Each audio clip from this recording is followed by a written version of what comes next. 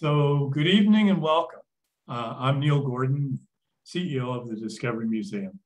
And for those of who are not able to see me tonight, I would describe myself as an older white male, um, no facial hair, um, glasses that are kind of clear framed, and sort of medium short and completely gray hair.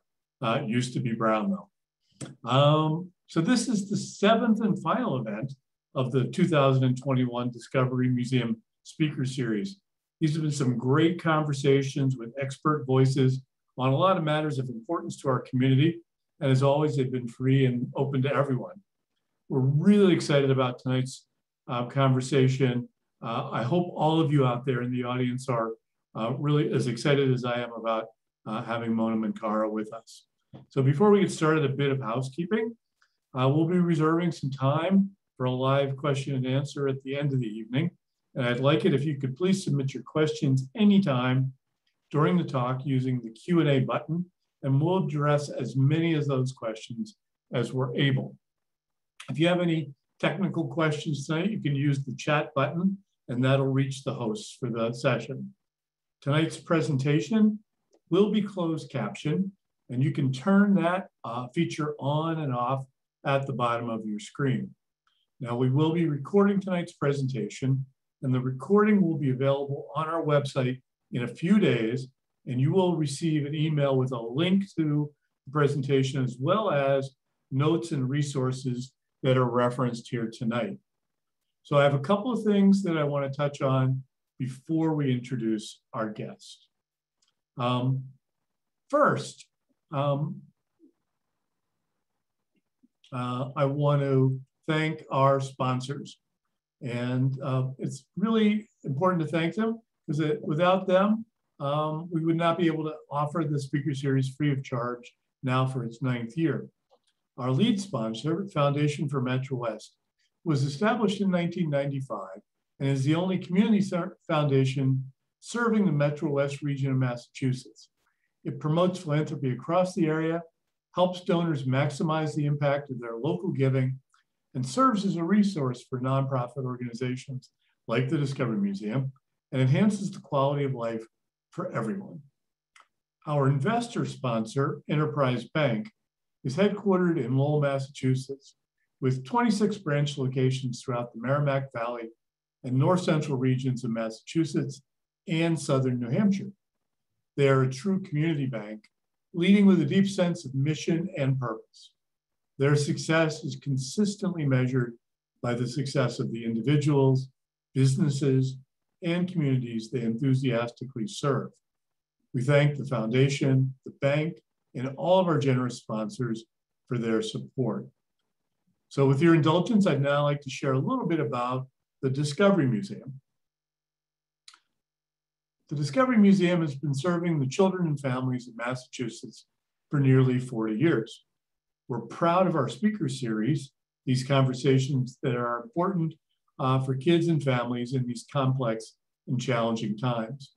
We're going to have an exciting lineup of speakers for next year, and we'll be announcing that lineup in January. If you know our museum, you know that there are a few ideas we use as the foundation for our work. We believe in nurturing the natural creativity and curiosity of children.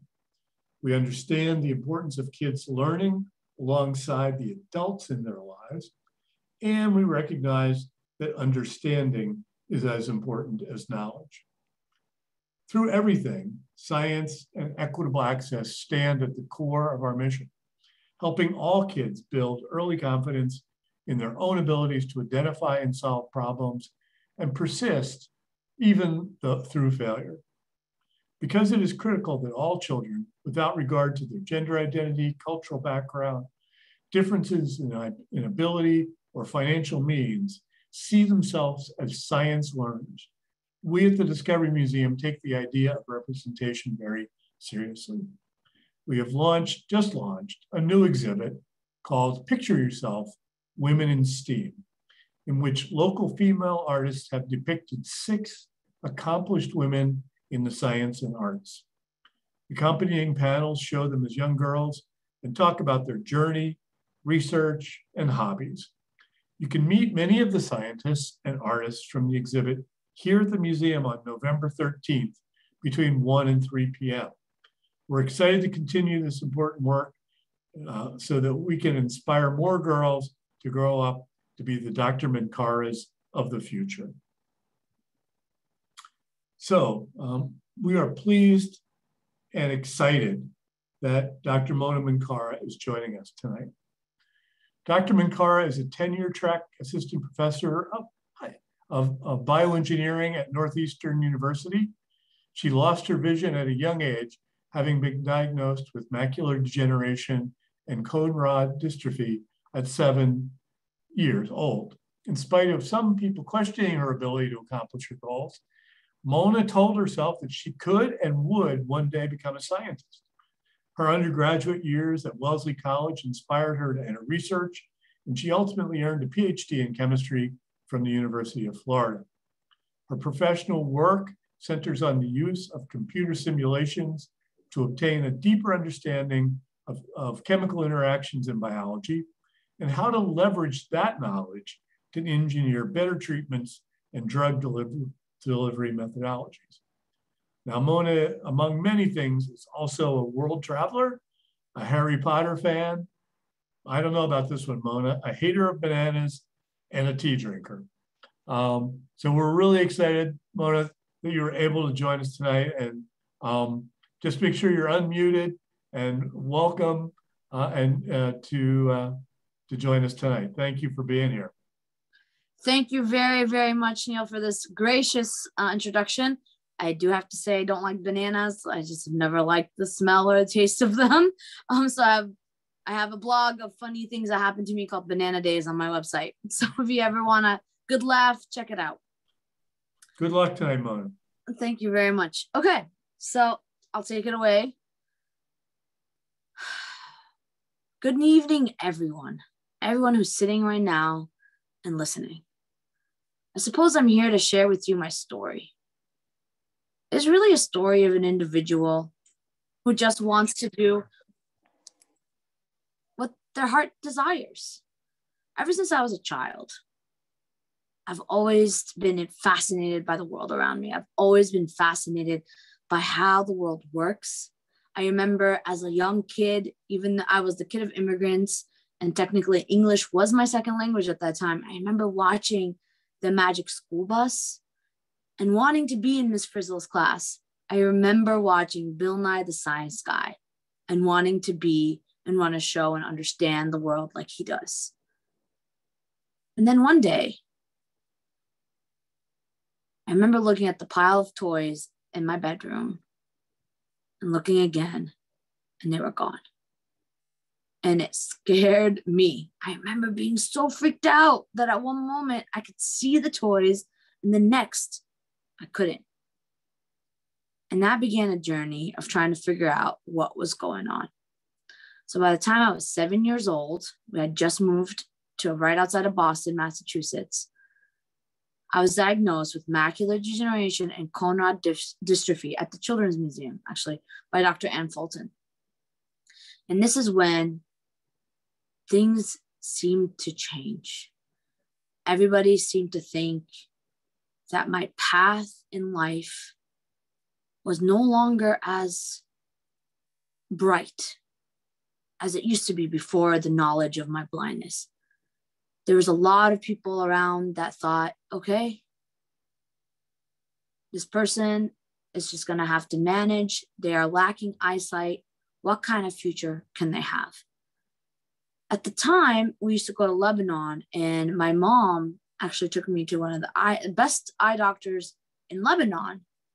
And that's where I will never forget leaving the doctor's office that day, and my mom was crying. It wasn't until I was like in college, like I had made it to college, in which my mom had informed me that the doctor had said to her that it wasn't worth spending a penny on my education. And that's in a way where my journey began. My passion for science has always been innate to me, it's a part of me. And so when I was diagnosed, I didn't understand why everybody was like freaking out. but everybody was because they saw that my future could no longer be as bright. But how wrong was that? How wrong was that? So life continued, and my passion for science didn't dissipate. If anything, I just continued ignoring all the like negative feelings around my eyesight, and I just continued learning and doing, you know, watching the Magic School Bus and watching Bill Nye the Science Guy. I remember in fourth grade doing my report on Marie Curie and learning how much she interacted with her materials and how she was as a scientist and being i remember being very um, inspired by her and life moved on and i was internally defiant to the fact that i didn't think that it was the end of the world that i couldn't see and i went through the public school system and I didn't fully understand my potential. Because this is the kicker, everybody out there. No matter how hard we tell ourselves, we are impacted by what people say, right? We are. And I had started to internalize that maybe my blindness is weakness, that maybe I couldn't be the scientist that I wanted to be, that I couldn't be Marie Curie. But I still pursued what I loved because I can't do anything else. my heart still had an opinion and I moved forward. And I remember, I remember very vividly, I have to give credit to my parents that they allowed me to be me. And I think that's one of the most important things in the world to have is to have the space to be yourself. So I grew up, and I remember in high school, um, I was so bored in the lower level classes that I decided that I wanted to take advanced biology. And the teacher was like, You're going to fail. And, you know, people were really warning me. And they're like, Are you sure you want to do this? And I was like, In my head, I was like, There's really nothing worse. I'm, I'm so bored. Like, what is going to happen? I fail? Okay. I told them I have the right to fail. My parents are taxpayers. Yes, I want to take advanced biology. And this was a pivotal point in my life because I took that class and I got one of the best grades in that class. And the teacher actually apologized to me. And after that, I started to realize wait, I get to decide where I want to go. I get to decide my potential. Let me try. It's okay to fail, but let me try. So I started to, and I tried everything, um, including like advanced English, and I really didn't like writing at the time. So that you know, I realized that wasn't where my heart lied, but I tried, and because of that, I actually got into Wellesley College. And this is where the adventure began. I was out into the world and I wanted to learn everything. My curiosity was insatiable. I started to take chemistry. I thought I wanted to be a doctor. I also thought I might want, want to do history. I changed my major like 10 times. Yeah, I know I wasn't, I was kind of all over the place. And finally, junior year of college, everybody's like, you really need to declare something. And I remember looking back at my transcript and be like, uh, I think I took the most chemistry classes, so I'll do chemistry and Eastern studies. And I remember taking quantum chemistry and falling in love. I was like, this is it. During this time, I had already been doing like research for the summer. I would get an NSF REU that stands for National Science Foundation research experience for undergrads. And this is something really important for everyone out there. Nobody does anything in life on their own, right? We're always receivers. We're, we're also we're always receiving someone else's help. We every single one of us. None of us do like gets to where we need to go on their own. So when I was a first year at Wellesley College, um, you know, I was kind of lost. I didn't know, like, like, you know, I was trying to figure out my way and I was trying to figure out the accommodations that I needed. And one day, this girl, Shazia Ali, comes up to me and says, Mona, have you heard about this NSF REU? You really should do one over the summer. You said you love science. Like, this is a great opportunity. And I was like, well, I don't know how to do it. Like, how do I do it? Like, how, how does it go about? And then she was like, oh, you just need to apply here. I was like, yeah, but this link isn't accessible and I, I don't I need help submitting. And she actually offered to help me. I'll never forget this because she stayed up all night. It was like the day, like the deadline, the day before when it was due, and stayed up with me to submit my application for my first NSF, first NSF REU program. By the way, I ended up doing it every summer after that. And that's how I entered the field of research. And that's something that came along. I, I, I can't emphasize enough how important it is to recognize also the moments of help. There are so many moments of people, telling me I couldn't do it, but there are so many moments of people being like, hey, let me help you do what you want to do. And I think that's really important for us to always walk and pay attention whenever we interact with others. Are we encouraging others to follow their dream, to aid them in experience, like experiencing their potential? And that's what this friend did for me. She she supported me in following my dream. And so I started to do research. I was in a lab. I, I, was I was introduced to computational chemistry. I was blown away by this ability to understand the world of atoms through computers, and that I could do it.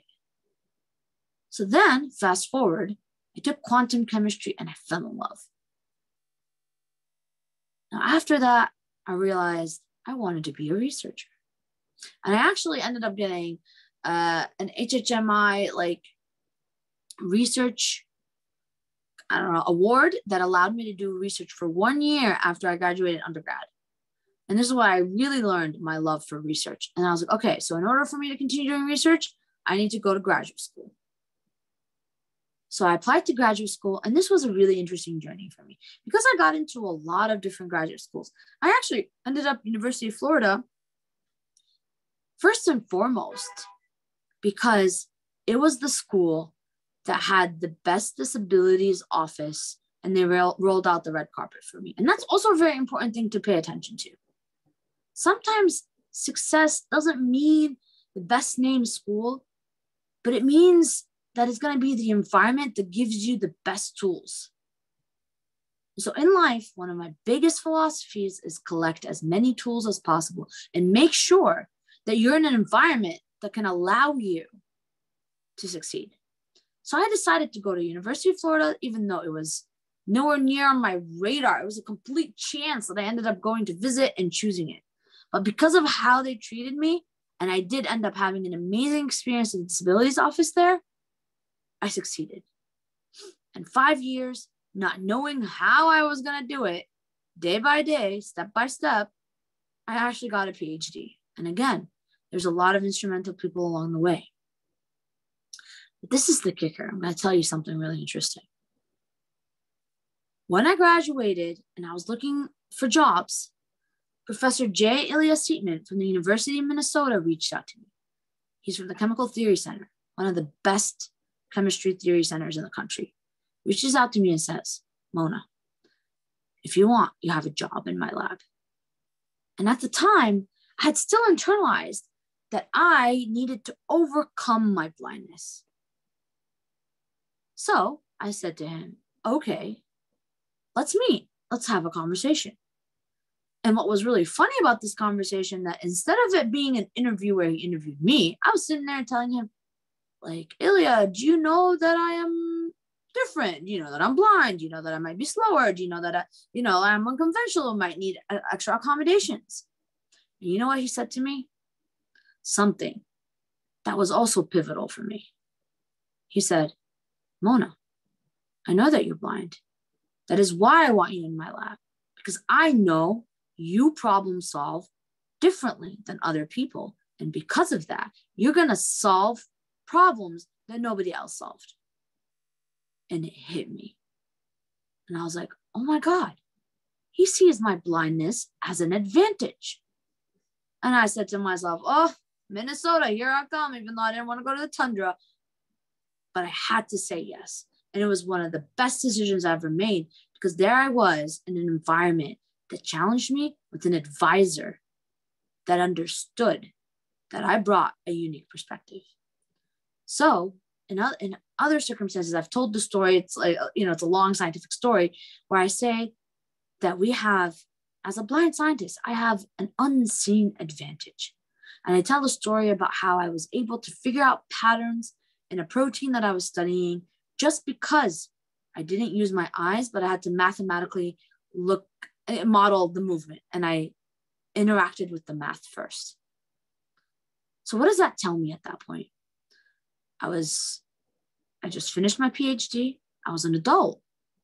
And I was still learning that I had internalized that blindness was weakness, as opposed to recognizing that maybe I shouldn't see it as a lack, that me as a full package, there's abundance, there's uniqueness in the way I problem solve. And how amazing that I was able to learn that from my advisor. Along the way, when I was a graduate student, halfway through, I actually got the opportunity to TA. And that's where I learned that I wanted to teach. It wasn't a plan that I had since I was a child. I didn't know. If you had asked me 10 years ago I was going to be a professor of bioengineering, I would have been like, really? Because this is all I knew since I was a kid that I wanted to be a scientist. I didn't know how, I didn't know how it was going to look like, but I knew that I wanted to be a scientist. So now, when I was a postdoc, my advisor pushed me. He made me a better scientist. He never lowered his standards for me. He understood that I was blind and sometimes things might take me a little bit longer, but his standards were never lowered. This is key. This is very important. I had the intellect to be a scientist. Things might have just been a little bit different to how I did my science. And not only that, he understood the advantage that I brought to the table, and he taught me that. And this is something that stays with me. And now, after I was able to do research with him and get my position at Northeastern University in the bioengineering department, it's something that I bring to my students. It's something that I bring to my classroom. My classroom is not a conventional classroom. It's not like what you envision a science class where you go in and you sit down and you just you know, listen to the teacher lecture. No. You come into my class, it's interactive. We're having conversations. We are going back and forth and we're working together so that I teach you the material. And I've actually published a paper about my method of teaching because it's quite unique because I can't see the board and I can't see the screen. So I'm sitting here having to teach very deeply mathematical problems and deriving equations while I can't see. But guess what? It's possible. It's done. It's possible to the point that I, in one of my teaching surveys, I will never forget this. I had a student write, I didn't realize how non visual biomolecular dynamics and control is. Can you imagine? My student thought that this was not a visual subject anymore. And so I leave all of you with this. What boundaries are you pushing through? When you interact with people, do you predetermine their potential? Or are you supporting people in finding their potential?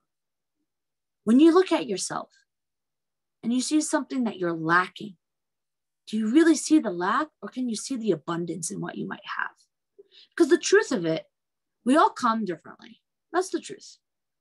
My eyesight Sure, I, am not having any eyesight, but I have abundance in other ways. I'm a great problem solver and I can be a scientist. There's an advantage. So, with that, I really hope all of you came along for the journey. You could imagine me along the way. And by the way, just as a side note, I am also somebody who has, you know, created the YouTube channel, Planes, Trains, and Canes, where I traveled to five different cities around the world and experienced public transportation on my own. This was a really interesting adventure. I was able to do that thanks to the Holman Prize given out by the Lighthouse for the Blind of San Francisco. And I have now, you know, been able to start a research program here at Northeastern University called the Combine Lab. Stands for Computational Modeling for Biointerface Engineering. Um, we're always looking for bright individuals to join um, from undergrad to graduate to postdoc level. And finally, I just was able, to, I, I'm always down for an adventure. for I think what matters to me the most. It's something, you know, I just finished reading The Alchemist. I don't know if anybody in the audience knows The Alchemist by Paulo or Coelho. I can't say his name. Um, but the stories of a boy who follows his heart's desire and recognizes the path is sometimes circuitous, but as long as you honor that, things end up opening up for you. And that's really how I feel. I always tell people that I've always wanted to be a scientist, and I am a scientist now. I would have never thought the way to do that would be to be a bioengineering professor at Northeastern University. So, with that, I hope all of you uh, came along for the ride. And if you have any questions, so I can open up now for the fireside chat with Neil. Thank you.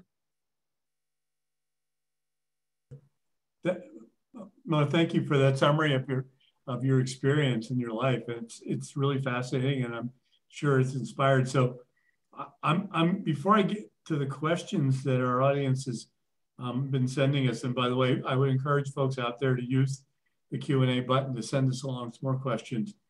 Mona, you, there's one one question I got to ask you right off because you yeah. sort of you finished by saying you're always up for an adventure, um, and you know we we saw this story in the paper about you today that from this weekend, and it seems like you did something completely I don't know I want to say crazy, but arguably just unique. Um, could you could you tell everybody about that? Sure. Okay. So for everybody listening out there, so it turns out I was, I mean, this past weekend, I experienced zero gravity. And the way I did that was with an organization called Astro Access, which is their goal is to make space accessible for all. So for the first time for historical for historic flight, 12 disabled people individuals, four of us were blind, two deaf, and six mobility impaired, were placed on a plane, flew up playing free falls over and over 15 times, you know, going up and down. And while we're going down, we get to experience something called weightlessness or zero gravity or microgravity. And we were able to conduct experiments to see how can we make environments like the space station or space travel accessible to all?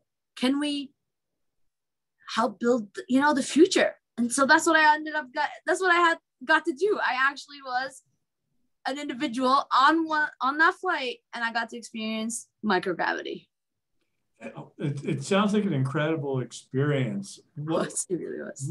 What what were you feeling, and um, how how you know how was it? It was nothing like I've ever done before. I mean, think about it. Think about how while we're living, you're always touching something, right? You're always tethered. You're either standing on the ground, you're sitting on a chair, laying on a bed, like you're always touching something. You're never not touching anything, right? But there I was in zero gravity, and no part of my body was touching anything.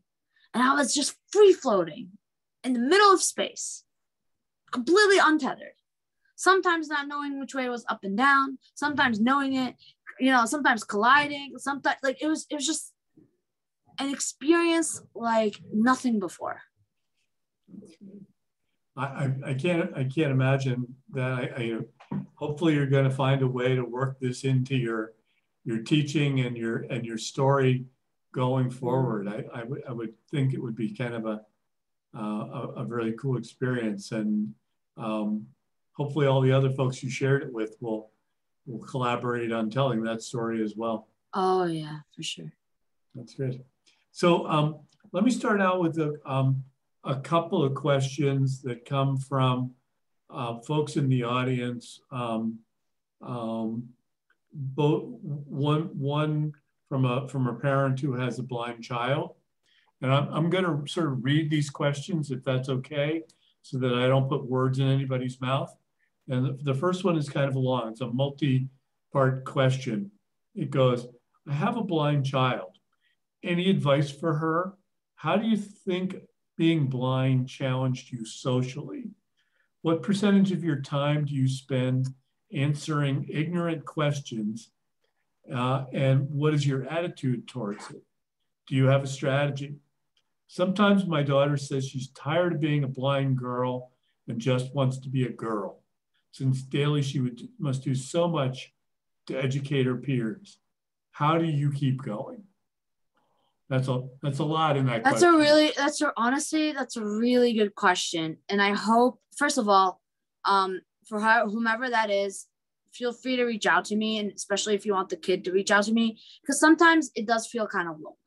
Okay, and I think it's really important for her to have camaraderie in in other people, other blind people. Now, what I would want to tell that kid is sometimes you know you don't owe anybody an explanation and you just got to do what you got to do. And I know it feels tiresome sometimes to be blind, but it is a part of who you are. Just like whatever your height is, just like, you know, other features of you, it's a part of who you are. Now, if we can sit down and try to figure out a way for you to see it in a different light, or like, you know, or even just um recognize that maybe because of that, you're going to be a much better problem solver and that you don't really need to explain that to anybody else. I think that's really important. But at the end of the day, if you need somebody to reach out to and talk to, I'm here because it does sometimes suck. it just is. But the reality is, anybody else who's different, that's just part of growing up and unfortunately growing up in, in an environment. When you're different, people tend to notice and it's not cool. But you know what? It's gonna give you an edge when you grow up. Just wait. There you go. I like I, I like that. Did you did you have somebody in particular that you were you shared camaraderie with in, in your life? How did that how did that work for you? I feel like I took a, an approach. I mean, my sister is also blind and she's two years younger than me. So that kind of helped, right? Of course, even though me and my sister are very different people. But also, when I was in school, I think there was a period of time in which I kind of was alone. But then I found the people that were, were the best people to be with. And then, you know, just give it time and be patient. And then when you grow up, everybody then wants to be your friend because you figured it out. You figured out how to like not, you know, to do your own thing. You figured out how to do your own thing. Just wait you'll have an edge. Mona, were there were there things in your life that that sort of gave you that that that were your source of strength for the kind of perseverance that you're talking about? Um, I'm very defiant. If somebody tells me I can't do it, I want to do it more. So weirdly enough, that was like a source. uh, I loved my science. So I focused on that, right? I always was curious about science. Like it's almost like everything else was kind of noise and I was just curious about what I wanted to do, you know? And I read the books that I wanted to read or, you know, and, and things like that. I don't have anything more. There, there really isn't one way and, and it's it's challenging to be different. That's the truth. So so we have a um a second question from a parent. Um, how can I, as a parent, help my child succeed in a career path he, that he wants? He is a, a Black young boy with disabilities. How can I instill and nurture confidence and self advocacy in him? First, you have to believe that he can do it. This is very crucial, right? You have to believe that he can do it, and you have to show him that he's not lacking, that it will be a struggle. Look, I'm not denying that there are struggles in life. I can't, I cannot deny this. But if he wants to do it, he will do it. And you have to believe that too. This is very important because sometimes we we look at kids I don't have a kid of myself, so I can't speak as a parent, right?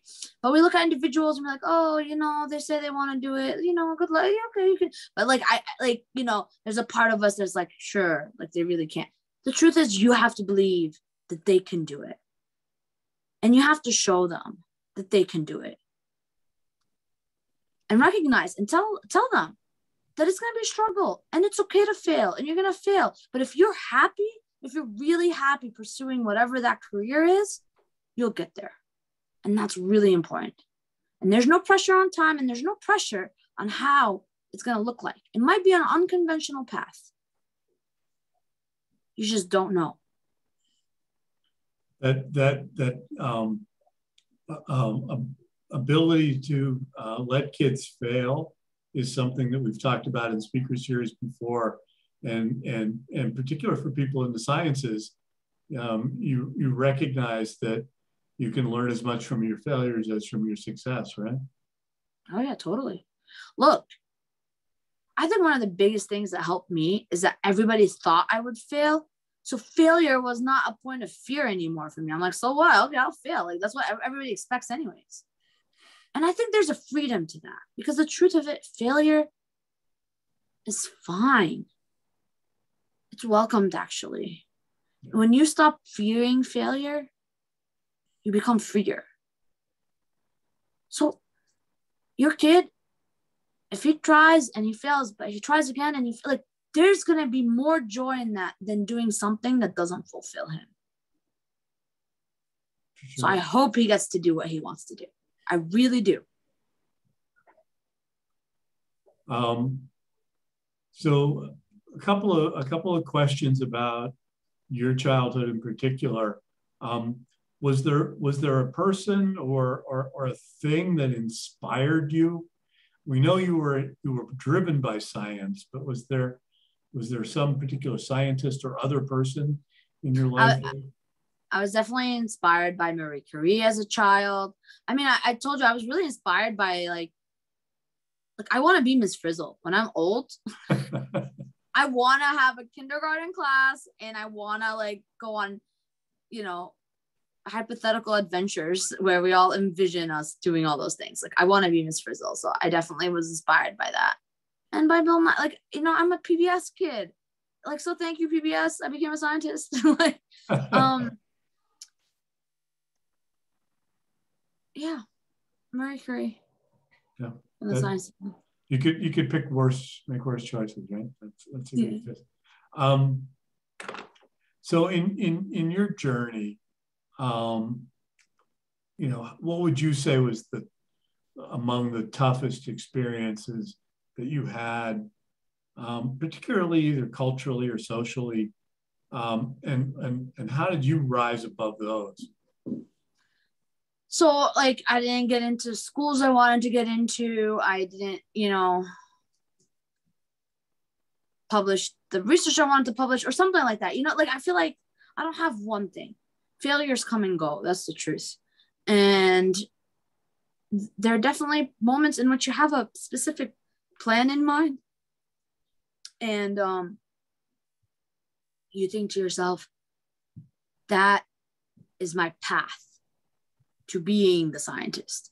And then everything gets top topsy turvy, and you feel like you failed. But then you realize later on, like much later on, you're like, wait, you know, maybe it was for the best. And I'm still on the path of science because at the end of the day, nobody could change your heart, right? Like your heart is your heart and you need to follow it. Um so I don't have like one moment. I just there's a lot of many failures along the way that at the time felt so big, but now they don't feel that mm. big anymore. But then, you know, I move forward and it feels like sometimes it's the same thing now, you know, and you're like, oh, you know, my paper got rejected. And then you're like, wait, maybe there's a better journal and then you submit there and it works or you know oh my grant got rejected. Like it just it's part of the cycle of life. But as long as i'm trying to do what i love doing i would say overall i'm doing okay. It's okay. It's all good yeah i mean that, that ability to keep going through failure and uh, you know a lot of talk out there about the importance of perseverance uh, for kids. And it, it just you're just reinforcing that learning to fail at a young age is a really really important skill for kids. And to honor also your heart i think that's the biggest you know i think it would be the saddest thing if somebody gave up on their heart's desire or their passion yeah. see that's the saddest thing you know because it's okay if i'm trying to be a scientist and i might not be the best scientist but i'm trying and i fail but i try again because at least I'm happy trying. Yeah.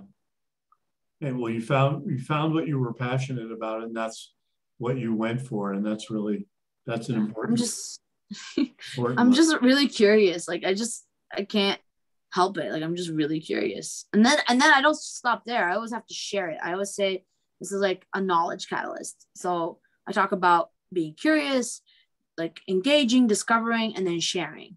And that's really important because you want to include more people. And when you do that, then you cycle through the same information and it's different. And and that's how we progress and bring in more people. But yeah. Maybe you could maybe you could talk about that a little bit. I read read some of that work on your website about the knowledge catalysts and and um, maybe you could t- tell people a little bit about your your thinking about that. So um, in essence, one of my fundamental ways of approaching life is curiosity, but it doesn't just stop there, right? Because you can be curious, but then nothing happens. So after I'm curious, I like to engage with whatever I'm curious with. I like to discover something. Um, sometimes it happens, sometimes it doesn't. But then at the end of the day, you have to share that. You have to, because when you share, you cycle through it, right? You include more people in the process. So that comes out in my life in different ways from being a professor and I'm teaching in front of the class, right? I'm sharing the material, you know, being a researcher and then publishing the information. It's not enough to just discover and keep it to yourself, to being somebody who did planes, trains, and canes, where I brought people along to experience how it is to travel independently as a blind person using public transportation around, you know, five cities around the world. There's always an element of sharing. And when you share, that causes conversation when conversation starts, that increases people's curiosity. And then the circle continues and it grows and it grows. And that's how the world can then, you know, create and discover new things. That's, a, that's just a really important uh, idea. It's a simple idea, but it's a really important idea. You know, and people people lose lose sight of the fact that they can they can spur other people's thinking by just telling what they know and talking about it. That's really yeah. a really important idea. Um, one one sort of maybe last question about your your childhood. We'll, we'll come back to this. Um, as you were a kid growing up and um, trying to start your journey on becoming a scientist, now when you look back, do you wish there were some resources that um, you might have had that that weren't available then, maybe are available now? 100, 100%. 100%. I don't regret anything, you know, like it is what it is. But I wish it so strongly that now me and two of my friends, we created a business. It's called Senses Designs, where we actually 3D print educational tools that are accessible to all. I mean, you know, some of them are accessible to all, some of them are more blind specific. For example, we have a molecular modeling kit. Usually, molecular modeling kits are just colored and not textured, but ours are textured, which means a sighted and blind kid could be using the same modeling kit and get the same information. And that's our goal, you know, to replace the other modeling kits with this one because it's universal. We have build your own DNA. We have a braille periodic table that's printed in such a way that it's white dots on a black background so a teacher can easily bridge the gap and see where the kid is trying to read and compare it to the regular periodic table for them. Regular meaning like print, not regular, but you know what I mean. So like we we are working on creating these educational tools that I wish I had as a kid. And how awesome is that? And we're 3D printing it all with like plant-based plastic so that you know doesn't harm the environment and it's eventually we want to give it out and we want to sell them and we want to be sustainable. So that's really fabulous uh, stuff. That I love the, the the talk about um, universal or inclusive design. You know, that's such an important principle now. And it's something certainly our museum has tried to adopt in the, in the way we design exhibits. You know, a, an exhibit that's um, really well done or a, or a device like you're talking is, is sort of really beneficial to everyone and works for everyone. Uh, we put we put a link to um, in the uh, in the chat. So oh, thank you. Senses Designs is awesome. Yeah. Design. We'll, um, we'll be starting to sell soon, but in, in the meantime, if you guys have any requests, please send us. There's a place to message us, and we're working on it. We're, we're almost done with our prototypes. We've tested them. We're ready to ship out soon. I saw that you had done some earlier work earlier in your career on a on a, a STEM STEM curriculum for the blind. Uh, a fully yeah, an accessible STEM curriculum for the blind where I mean, it was for a two week camp. It was also low cost material. This was really important to me. You know, I wanted this to be something achievable by as many kids as possible. And so we did everything from uh, like endothermic, exothermic reactions in a bag so you could feel them to creating like fizzy lemonade to, you know, extracting DNA from strawberries. We did all that. Yeah. With any eyesight, every kid had to wear a blindfold. Huh. That's and did it independently. That that was really important too.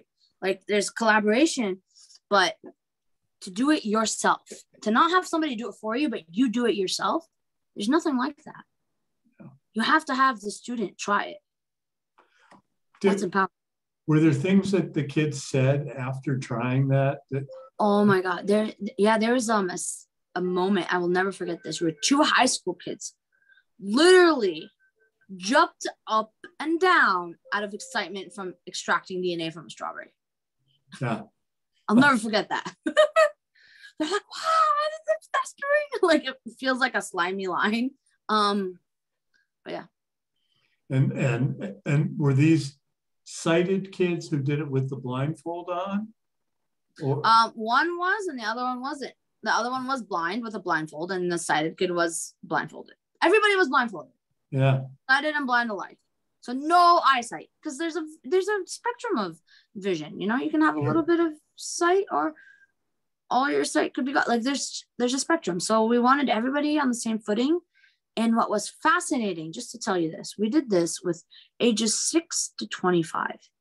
And it was really interesting. Like when you started to enter ages of like 10 and higher, our classrooms were divided half sighted, half blind. Everybody had to wear a blindfold. But what was fascinating is that a lot of times the blind kids already were like, I can't do it. But the sighted kids were like, let me try to do it, even though they're wearing a blindfold. And that inspired the blind kids to try too. But that showed me something about how much society pushes upon these blind kids that they can't do it, that they've internalized it. Wow. So it's I, really important when we recognize how we teach in our classroom. Let the kids do it. It's such a powerful learning experience that you just have created there. That's wonderful. Um, I, I, after this, I have to learn more about that. That seems like a really, you know, a, a thing that can be done in a lot of different settings. Oh yeah, I mean, maybe the Discovery Museum because it is low cost materials too. Yeah, for sure, for sure.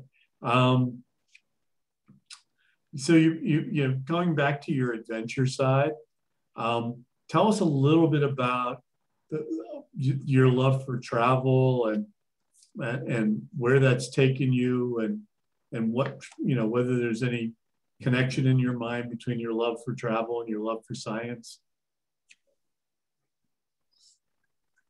I'm just an explorer and i'm curious. So curiosity makes me wonder and go and explore new places i, I cannot believe i was able to win the holman prize to be able to do that and um, again it wasn't enough for me to just do it and keep it to myself sorry hiccup Okay. But I had to share the experience. And so I got to do that through planes, trains, and canes and bring everybody along. So for everybody out there, I got to go to Johannesburg, London, Istanbul, Singapore, and Tokyo. And you know what was fascinating? I reached a level of mental freedom that I didn't even know before. I remember telling myself, Mona, it's okay to get lost. And I actually made sure that I was truly okay with getting lost. If I got lost, it's like an added thing for the documentary, for the story. That's fine. But I really wanted to try to navigate. Like I remember going to Johannesburg and deciding to take on the Atlanta airport myself. Like, you know, I'm blind. I'm trying to navigate it and asking people along the way. And I did it. But I actually took the train the wrong way. And, you know, I, I, I was okay with getting lost, even if it meant I had to be rebooked on another flight. But when I got to that point, when I got to the point of being okay and allowing myself to try, when I did it, the joy that I felt was remarkable because I did it. And then yeah. I realized all that pressure that I had before was just self inflicted, societally inflicted, whatever it might be. Freedom is achievable. You don't have to actually travel to feel this way. You know, like uh, you don't need to, you know, win a Holman Prize to do it. I mean, it'd be cool if you had an idea, but like you realize, I realize at least, that like that's just a state of mind, allowing yourself to do things differently. Yeah. Um, so I have a couple of um, questions from folks about your sort of current work and and, and what you're doing at, at work. And one is sort of a practical question, and and that's sort of what kind of adaptive equipment, devices, software do you use, and and you know what particular accommodations are important for you to be able to do your work. Okay, so that's a really good question. And I've actually outlined a lot of the tools that I use on my website, monaminkara.com, on a page called Blind Scientist Tools, where I outline every single piece of software, hardware, even how I work with people, because a lot of my work is actually done with a team of access assistants. So people who read to me and describe things, because the majority of the world of science is not accessible. So all of that is broken down. I have everything on there from using JAWS on a Windows machine to using, you know, my Braille display to using, um, you know, my cane to get around to using, you know, my iPhone that talks. Like I, I have so many different techniques. I even talk about how to visualize a protein in the past. I've actually used Play-Doh and had somebody to kind of generally shape it so that I could get the general structure of the protein. Um, to 3D printing to molecular modeling kits. All of that is outlined and laid out on that page to help with people. I mean, not all blind people are going to need the same things, but I'm hoping that this can minimize reinventing the wheel. Yeah, that's really good. That that sounds like a great resource, and you know, it's probably both fascinating to people who are interested, but I imagine it's a um, a real resource for folks who are trying to follow the same path as you? Are, are, are you, do, do you find that you are a, a, a role model and resource for um, younger blind science students who are trying to follow your path? I don't know. I don't really think about it, but I would definitely love to be a resource. I mean, look, my goal, one of my main goals is to allow people to be themselves. So if there are blind individuals that want to be scientists, count me in. I want to help you succeed because the world need, needs more people who are doing what they're passionate about. And um, if it means sharing my experience to help that, then the more I will, you know, like, and sharing all the tools that I've gathered and documenting that, why not? The more the merrier. That, that's great. Um, so uh, we had a very specific question about what led you to study the sort of lung surfactant, surfactants? Surfactants. Okay. Surfactants, sorry. Uh, well before the current pandemic. Okay, that, yeah, that's a really good question. Um, yeah, isn't it funny how it ended up being extremely relevant? So, what I did is, as a graduate student, I studied more proteins, and then as a postdoc, I studied surfactants. So, on the graduate student years, I was more on the biochemistry side. But then when I mm-hmm. went on to being a postdoc, I was more on the material side and studying surfactants. So then I was like, what can I do? What area can I study that kind of combines both areas of knowledge? So I searched and I searched and I was like, oh, pulmonary surfactant. It has proteins and it has surfactants and it has surfactant proteins. And that's why I decided so that I can use all the tools that I learned. That's great. Um, good question. Really good question. And so, Mona, we're, we're, we're getting near the end of our time, but I, I wanted to ask you a question. We, you know, the museum has started um, some efforts to, uh, through a program called Picture Yourself, to do more representation in our museum of, of uh, women in the sciences um, and as a way of, of helping inspire girls. And, you know, I, I it, it strikes me that, you know, you had um, you were you were both a, a, a blind person and a blind girl uh, trying to get into the sciences. And which were, were was that sort of a, a double barrier or a double asset? Uh, I mean, that's a good question, right? It's both, right? It's a double barrier because of societal constraints. It's a double asset because of what I could actually contribute to the world of science. See, that's the thing. A lot of the times, barriers are placed by others. As a good friend of mine says, it's not us who are disabled, but the environments are disabling, right? And so this is really important and crucial to pay attention to. Um, we're the ones as human beings who make it harder for each other. The world isn't designed for a blind person, but we can make it that way. It just isn't right now. So it's both a double barrier and a double asset, you know? The barrier comes from society, the asset is what the person can actually contribute. I, I imagine a lot of the good the advice you gave us tonight about overcoming the barriers of blind, you would probably give to a, a young sighted girl, say, and the same kind of encouragement about. Yeah, anybody who's who's different, anybody who sticks out, anybody who's getting societal barriers, because honestly, we are the ones who kind of block other people the most. So it's really important that we pay attention to what we do and how we interact with others. Yeah. Well, uh, you know, Mona, I really appreciate you you taking the time tonight to, to talk to us about this. And I think you helped um, us all think a lot about what sort of creating a more inclusive space and opportunities is all about.